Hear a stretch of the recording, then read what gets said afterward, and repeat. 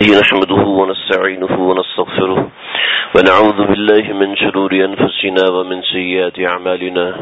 من يهده الله فلا مضل له ومن يزلله فلا هادي له.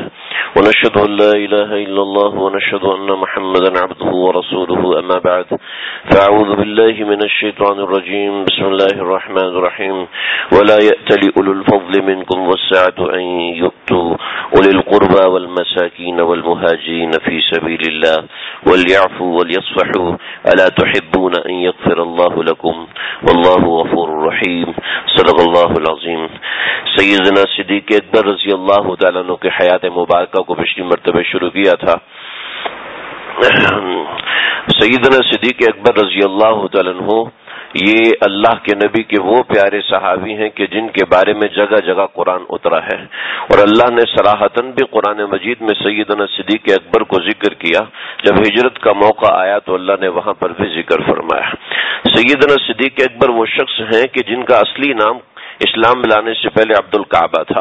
اور یہ ان لوگوں میں شمار ہوتے ہیں، وہ مبارک اور خوش نصیب مسلمان ہیں کہ جن کے ناموں کو نبی کریم صلی اللہ علیہ وسلم نے خود تبدیل فرمایا تھا۔ تو سیدنا صدیق اکبر کا اصلی نام تھا عبد القعبہ تو عبد القعبہ سے ان کا نام تبدیل ہوا اور اللہ کے نبی نے ان کا نام عبداللہ رکھا۔ لیکن اپنی نیکی اور خسال کی وجہ سے ابو بکر مشہور ہو گیا۔ بہت سے لوگ ایسے ہیں جو سیدنا صدیق اکبر کا اصلی نام عبداللہ بن ابی عبداللہ بن ابی کوحافہ نہیں جانتے۔ اصل میں ان کا نام ابو بکر ہی سمجھتے ہیں۔ تو یہ نبی کریم صلی اللہ علیہ وسلم نے ان کا نام تبدیل فرمایا تھا۔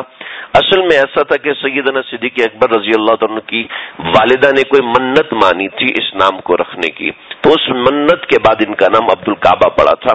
تو پھر ابو بکر پڑا، اس کی تفصیل میں ذکر کر چکا ہوں۔ سیدنا صدیق اکبر وہ ہے کہ جن کا ذکر اللہ نے قرآن میں کیا۔ ولایا الفضل منکم وسعت اللہ نے جب چار ہجری کے اندر حضرت عائشہ رضی اللہ تعالیٰ کے ساتھ کچھ معاملہ ہوا اور اس وقت حضرت عائشہ رضی اللہ تعالیٰ پر تہمت لگانے والے منافقین تھے۔ لیکن ان منافقین میں چند مخلص مسلمان بھی تھے جو کہ اس سازش کا شکار ہو گئے تھے۔ حضرت حسان بن ثابت، حضرت حمنا حضرت حمنا بن تو چاہش اور اور ایک تھے حضرت مستا بن تو اساسا حضرت مستا حضرت مستا بن اساسا رضی اللہ عنہ، یہ بدری صحابی ہیں۔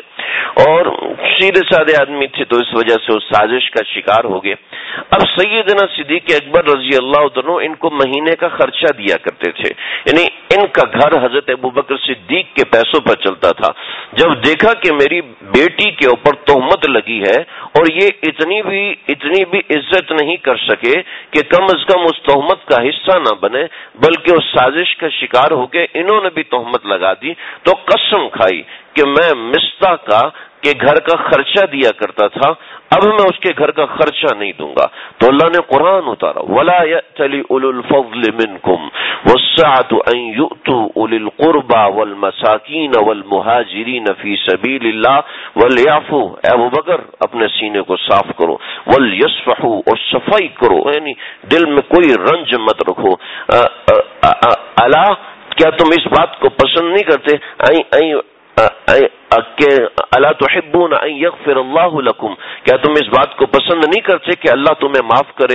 تو سیدنا صدیق اکبر نے جب یہ آیت سنی، ہمارے آقا نے بلایا۔ تو صدیق اکبر رضی اللہ تعالیٰ فرماتے جی ہاں میں اس بات کو پسند کرتا ہوں کہ اللہ تعالیٰ مجھے معاف فرمائے۔ میں اس بات کو چاہتا ہوں کہ اللہ مجھے معاف فرمائے۔ چنانچہ دوبارہ اسی کا خرچہ دوبارہ دینا شروع کر دیا کہ جس کی اصلاح خود اللہ رب العزت فرما رہے ہیں۔ یہ ایسے پیارے پیغم، ایسے پیارے پیغمبر کے پیارے پیارے ساتھی ہیں۔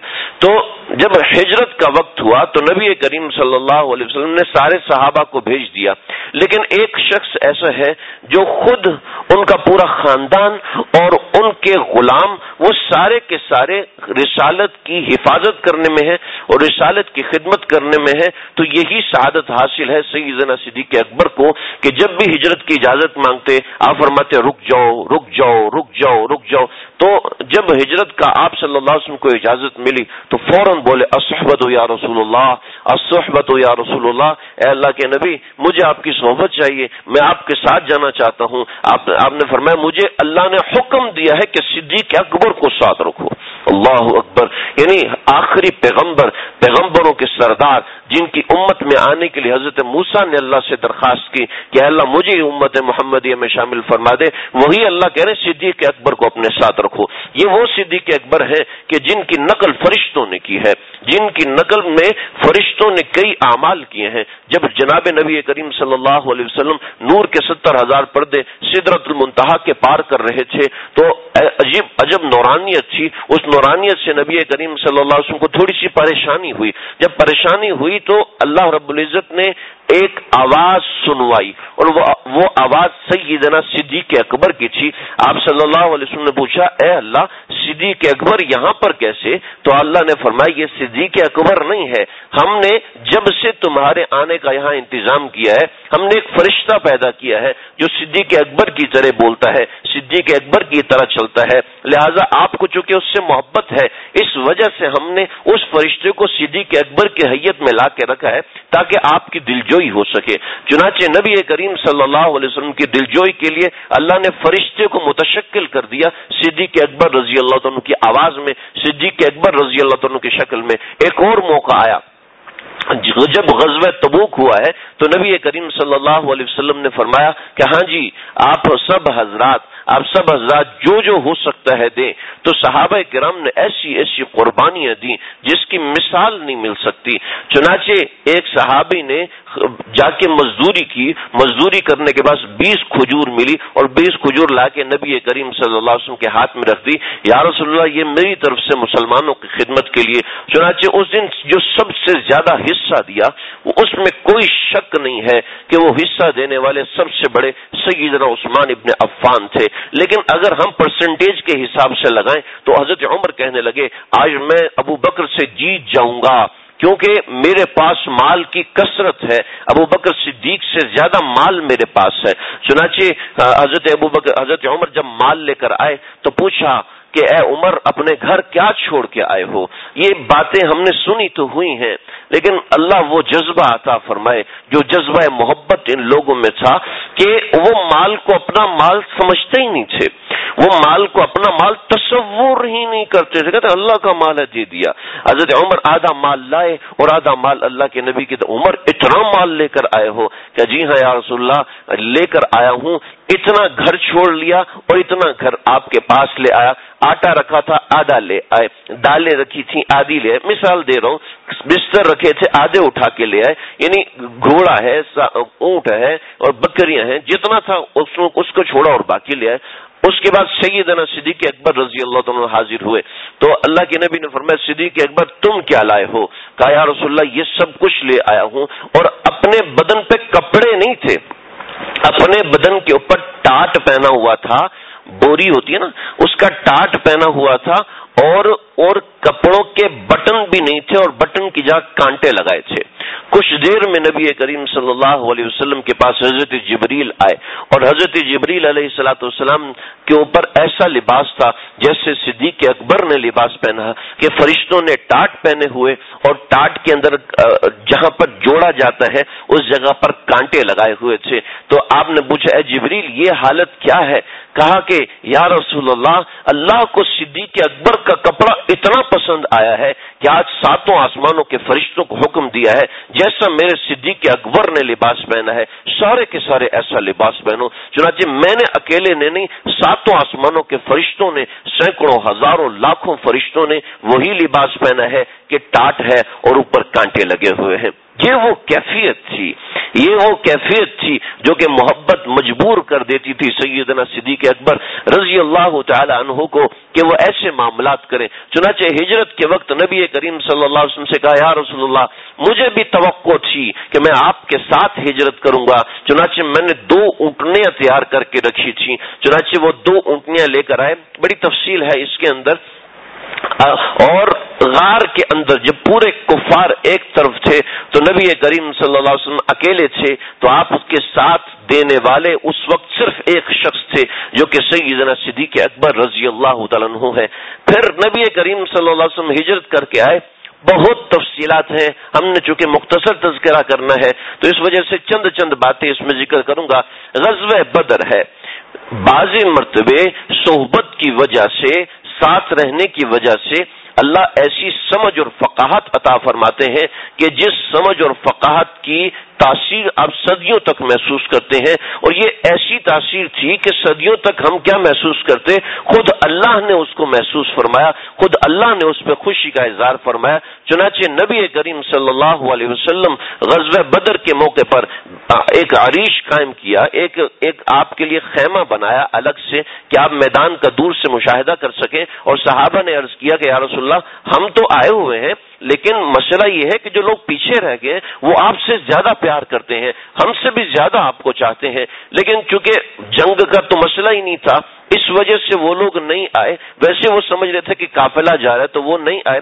چنانچہ آپ یہاں پر پیچھے عریش پہ بیٹھ جائیں اور آپ اگر ہم شکست کھا گئے یا ہم سارے کے سارے شہید کر دیے گئے، تو آپ ایسا کیجیے کہ اونٹنی پہ بیٹھ کے واپس مدینہ چلے جائے گا اور وہ لوگ آپ کا خیال رکھیں گے۔ لیکن اب عریش کے اوپر یعنی اس خیمے کے اوپر پہرا کون دے گا؟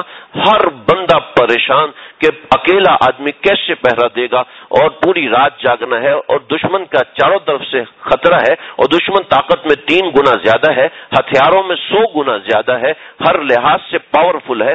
تو سیدنا صدیق اکبر کھڑے ہوئے، حضرت علی فرماتے ہیں، جس وقت ہم سردی سے ٹھر ٹھر کانپ رہے تھے اور ڈر لگ رہا تھا کہ کوئی مسئلہ نہ ہو جائے کون ہے جو کھڑا ہو؟ تو سیدنا صدیق اکبر سب سے پہلے کھڑے ہوئے پر میں فو اشجاؤ الناس، وہ سب سے زیادہ بہادر تھے۔ اور پوری رات پوری رات، ایسا نہیں کہ صحابہ ڈرتے تھے، ایسا نہیں ہے۔ مسئلہ یہ ہے کہ گول دائرے میں پہرا کیسے دیا جائے؟ ممکن نہیں تھا ایک آدمی پہرا دے سکے اور دوسرے لوگوں کی دوسری جگہ ضرورت تھی۔ تو سیدنا صدیق اکبر پوری رات کوئی سایہ بھی آتا تو جھپٹ پڑتے، کوئی سایہ بھی آتا، کہیں ہوا کا جھونکا بھی آتا تو کھڑے ہو جاتے یعنی ذمہ داری نبھانا، یہ مشکل تھا، ورنہ صحابہ کرم ڈرتے تھوڑی تھے، وہ جان تو اپنی جان سمجھتے ہی نہیں تھے۔ تو بہرحال سیدنا صدیق اکبر رضی اللہ عنہ خیمے کے اندر اللہ کے نبی نے دعا کے لیے ہاتھ اٹھائے ہیں اور اللہ کے نبی جب اللہ سے مانگ رہے پوری رات مانگتے ہوئے گزری۔ پوری رات مانگتے ہوئے گزری۔ پھر آخر کار وہ تاریخی جملے آئے جہاں پر ہم سنتے رہتے ہیں۔ اے اے اللہ اے اے اللہ لو شئتا اگر آپ چاہتے ہیں کہ آج کے بعد علم تو آج کے بعد آپ کی عبادت نہ کی جائے قیامت کے دن تک یا کبھی بھی آپ کی عبادت کی جائے، تو اے اللہ یعنی آگے دعا یہ کرنا چاہتے تھے کہ آج بھلے سے ان کو آپ ہلاک کروا دیجیے، لیکن یاد رکھیں کہ اس کے بعد آپ کی عبادت زمین پر نہیں کی جائے گی۔ تو سیدنا صدیق اکبر رضی اللہ نے اللہ کے نبی کا بازو پکڑ لیا۔ فقد اللہ یا رسول اللہ اللہ کے نبی، آپ نے بہت دعا کر لی۔ اب یہ بات نہ کہیں۔ اب اس بات کو نہ کہیے۔ اس لیے کہ حسبک اللہ۔ اے اللہ کے نبی، اللہ آپ کے لیے کافی ہے۔ اللہ آپ کو اکیلا نہیں چھوڑیں گے۔ اب ایسی بات اللہ سے نہ کریں کہ آج کے بعد آپ کی عبادت نہیں ہو سکے گی اگر یہ لوگ ہار گئے۔ اور اسی بات کو اللہ کے نبی نے تسلیم فرمایا۔ اللہ کے نبی مقام ابدیت کے اندر تھے، بڑی تفصیل ہے ان باتوں کے اندر۔ لیکن یہ وہ ہے کہ اللہ کے نبی کا دامن اگر کوئی پکڑ سکتا ہے، اللہ کے نبی کے ہاتھ کو اگر کوئی پکڑ سکتا ہے تو وہ سعادت صرف سیدنا صدیق اکبر رضی اللہ عنہ کو حاصل ہے، اس کے علاوہ اور کسی کو نہیں ہے۔ صحابہ کرام نیکی میں سبقت لے جانے کے لیے صدیق کے اکبر کا مقابلہ کرتے تھے۔ ایک مرتبہ حضرت عمر تلاش کرتے کرتے کرتے کرتے کرتے پہنچے ہیں۔ ایک گھر کے اندر دیکھا کہ بڑھیا ہے، نابینا ہے۔ اس کے گھر میں صفائی ہے اور اس کی آنکھیں بالکل کام نہیں کرتی گھر میں صفائی ہے، کھانا تیار ملتا ہے۔ بھائی کون کھانا آپ کو دیتا ہے؟ پتہ نہیں کون دیتا ہے۔ کہا ٹھیک ہے، میں، مجھے اب یہ گھر ملا ہے تو میں اس گھر کی خدمت کروں گا۔ کہا ٹھیک ہے، تم بھی کر لینا، مجھے کیا پتا کون آتا ہے، کر کے جاتا ہے۔ تو سیدنا عمر عمر ابن خطاب رضی اللہ عنہ، وہ اٹھے ہیں اور صبح فجر کی نماز پڑھی ہے۔ فجر کی نماز کے بعد دوڑے ہیں اس بڑھیا کے گھر کی طرف۔ دیکھا کہ گھر کی صفائی ہے اور گھر بالکل صاف ہو چکا ہے اور جو بندہ صفائی کرنے والا ہے، وہ مٹکا بھر کے لایا ہے اور اندر رکھنے لگا ہے۔ اندھیرے میں اس کی شکل نظر نہیں آئی۔ جب باہر نکلے تو دیکھا کہ وہ سیدنا صدیق اکبر تھے، جو اتنی بڑی خلافت کے باوجود ایک نادار عورت کی خدمت کے لیے آتے تھے، ایک نادار بڑھیا کی خدمت کے لیے آتے تھے۔ تو یہ صدیق اکبر کا مقام ہے کہ خلافت کے باوجود اتنی بڑی بڑی ذمہ داری داریاں ان کے سر پر تھیں۔ جب نبی کریم صلی اللہ علیہ وسلم کا انتقال ہوا تو یہ سانحہ ایسا تھا ایسا تھا جو اس وقت کے صحابہ کے لیے ناقابل یقین اور ناقابل برداشت تھا۔ یعنی یہ نبی کریم صلی اللہ علیہ وسلم نے فرمایا، میری موت کا سانحہ اتنا اتنا زبردست ہے کہ اگر کسی کو کسی کو تکلیف نہ ہوئی ہو تو صرف میری موت کو یاد کر لیا کرے۔ اگر اللہ کے نبی سے وہ سچی محبت کرتا ہوگا نا تو اس کو دل میں صدمہ اور غم محسوس ہوگا اور ہو کے رہے گا۔ نبی کریم صلی اللہ علیہ وسلم کی موت کا صدمہ آج برداشت نہیں کیا جاتا۔ وہ صحابہ جو ایک گھنٹہ نبی کو نہیں دیکھتے تھے، ایک ایک دن نبی کو نہیں دیکھتے تھے، ان کا دن گزارنا ناممکن ہو جاتا تھا، ان کا دن گزارنا محال ہو جاتا تھا۔ حضرت معاذ ابن جبل جا رہے ہیں کہ کیسے آپ کو چھوڑ کے چلا جاؤں؟ مجھ سے ہو نہیں، کئی میل تک اللہ کے نبی گئے اور معاذ بن جبل ساتھ روتے روتے روتے، یہ وہ لوگ ہیں حضرت معاذ بن جبل نہیں ہے، لیکن یہ ان قوموں کے لوگ ہیں جو اپنی بیٹی کو زندہ دفن کر دیتے، آنکھ سے آنسو نہیں نکلتا تھا۔ اتنے مضبوط دل کے لوگ تھے، اتنے پختہ دل کے لوگ تھے۔ اور وہ کیا ہے؟ نبی کریم صلی اللہ علیہ وسلم سے کیسی محبت کرتے ہیں؟ کسی کو یقین نہیں۔ عمر جیسا آدمی، عمر جیسا آدمی کھڑے ہو گئے اور کھڑے ہو کے کہنے لگے کہ اگر کسی نے کہا اللہ نے آپ کے اوپر کبھی دو موتیں جمع نہیں کرنی۔ اللہ نے آپ سے کہہ دیا۔ جب اللہ نے آپ سے کہہ دیا، جب آپ اللہ کے پیغمبر ہیں، تو جیسے عیسیٰ علیہ السلام آسمانوں پہ گئے ہوئے واپس آئیں گے، ایسے آپ بھی گئے ہوئے معراج میں، آپ بھی واپس آئیں گے۔ لہذا کسی نے اگر کہا تو عمر گردن اڑا دے گا، تلوار لے کے گھوم رہے ہیں۔ مدینے کے اندر تلوار لے کے گھوم رہے کوئی یہ نہ کہ خبردار خبردار۔ ایک تو یہ بات تھی اور دوسرا یہ جانتے تھے کہ یہودی مسئلہ کریں گے۔ لیکن لیکن صحابہ کرام کی ایسی حالت ایسی حالت اس سے پہلے کبھی ہو نہیں سکی تھی۔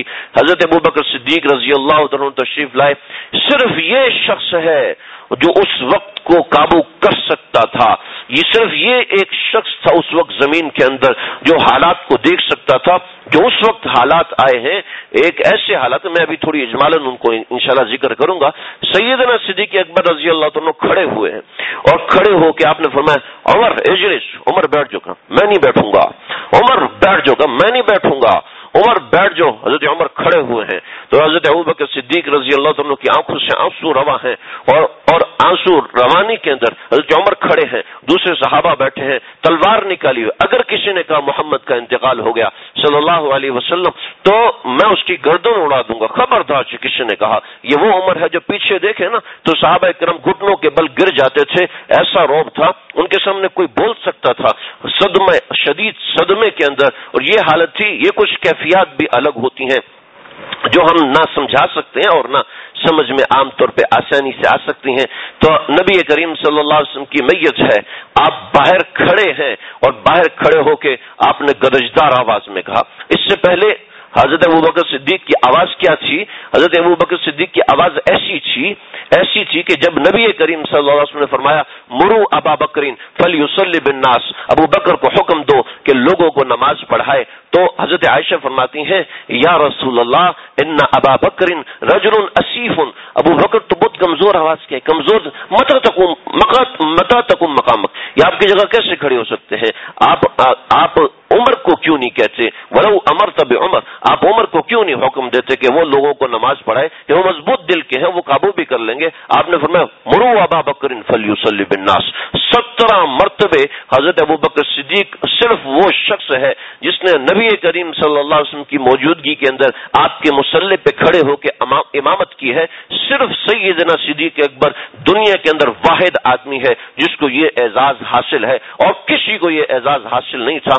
تو نبی کریم صلی اللہ علیہ وسلم یہ اشارے فرما چکے تھے۔ چنانچہ چنانچہ حضرت عمر، ابو بکر صدیق کھڑے ہیں اور کھڑے ہو کے ارشاد فرمائے، جو شخص محمد کی اتباع کرتا ہے، جو شخص محمد کی بندگی کرتا ہے، صلی اللہ علیہ وسلم اس حالات کا تقاضا تھا، ایسے بولا جائے۔ جو شخص محمد عربی صلی اللہ علیہ وسلم کی بندگی کرتا ہے، وہ یاد رکھے کہ محمد عربی صلی اللہ علیہ وسلم کا انتقال ہو چکا ہے اور جو شخص اللہ کی بندگی کرتا ہے، وہ سمجھ لے کہ اللہ زندہ ہے اور اللہ کبھی مرنے والے نہیں ہے۔ من کانا یا محمد فإن محمد قد مات. من كان يعبد محمد فإن محمد قد مات. یہ سنا تو عمر نیچے گرا تلوار ہاتھ سے چھوٹ گئی۔ صحابہ کی ایک ایسی چیخیں سنائی تھی، من کا نیا محمد جو محمد کی بندگی کرتا ہے فن محمد قدمات محمد تو فوت ہو چکے۔ امن کا نیا اللہ جو اللہ کی بندگی کرتا ہے فعن اللہ لا يموت، اللہ زندہ ہے۔ اور پھر صحابہ کہنے لگے کہ جو کلمات صدیق اکبر نے بولے، ہم بھول چکے تھے۔ کہ ان میتون و ان میتون اے محمد صلی اللہ علیہ وسلم، اللہ قرآن میں فرماتے ہیں، اے محمد، آپ کا بھی انتقال ہو جائے گا اور آپ کے ساتھ جو دوسرے لوگ ہیں، ان کا بھی انتقال ہو جائے گا۔ پھر فرمایا سورہ آل عمران کی وہ آیت تلاوت کری، ہم یہ سمجھے کہ یہ آیت تو آج ہی نازل ہوئی ہے۔ وما محمد اللہ رسول، وما محمد اللہ رسول، قد خلط من قبل الرسل اف امات او قتل انقلبتم على اعقابكم ومن ينقلب على عقبيه فان الله فلا يضر الله شيئا فسیز اللہ الشاکرین اے، یاد رکھو، محمد صلی اللہ علیہ وسلم تو بس اللہ کے رسول ہیں۔ افا اما تھا اگر ان کا انتقال ہو جاتا ہے، او قتلا، یا ان کو شہید کیا جا، شہید کر دیا جائے۔ ان قلب تم اللہ کیا تم کافر ہو جاؤ گے؟ ارے، اگر کافر ہو بھی جاؤ تو فلیں یزر اللہ شیا تم اللہ کو کوئی نقصان نہیں پہنچا سکتے۔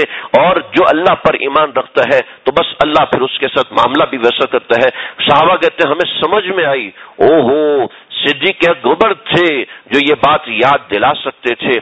صرف اتنا سا معاملہ نہیں ہوا۔ صدیق اکبر اللہ کے نبی کے وصال کے بعد پانچ پانچ چھ معاملات ایسے اہم ترین ہوئے ہیں کہ اگر وہ معاملات نہ ہوتے یقین کیجیے آج ہم مسلمان بھی نہیں ہو سکتے تھے۔ ویسے پانچ معاملات ہیں۔ ایسے چھ معاملات اتنے اہم تھے، بقیہ معاملات اور بھی ہیں۔ لیکن سب سے پہلے خلافت کہ اللہ کے نبی کا اندر انتقال ہو چکا ہے۔ اور یہاں خلافت کی بات کی جائے کیسے ممکن ہے؟ آج لوگ میراج کی بات نہیں کرتے، لیکن یہ بات کی جائے کیسے ممکن ہے؟ اس اس وقت صرف صدیق اکبر تھے جو اس مسئلے کو سمجھ سکتے تھے۔ آپ اگر آج جائیں مسجد نبی تو باب فہد کے سامنے آپ کو ایک چھوٹا سا باغیچہ نظر آئے گا۔ اس کو سقیقہ بنی سعدہ کہتے ہیں۔ یہ سقیقہ بنی سعدہ، اس کے اندر حضرت سعد ابن عبادہ اور دیگر کئی انصار جمع تھے جو سعد ابن عبادہ کو امیر بنانے والے تھے۔ حضرت ابو بکر صدیق، حضرت عمر فاروق حضرت ابو عبیدہ بن جراح، یہ تینوں لوگ وہ وہاں پہنچے۔ ان لوگوں کو منایا۔ ایک بڑی طویل ابحاس ہے۔ اس کے بعد سیدنا صدیق اکبر کے ہاتھ پہ خلافت آئی۔ لیکن اس میں سب سے بڑا مسئلہ یہ ہوا کہ مدینہ کے اوپر حملہ ہونے والا ہے۔ اس لیے کہ بے شمار لوگ ایسے تھے جو نبی کریم صلی اللہ علیہ وسلم کے انتقال کا انتظار کر رہے تھے۔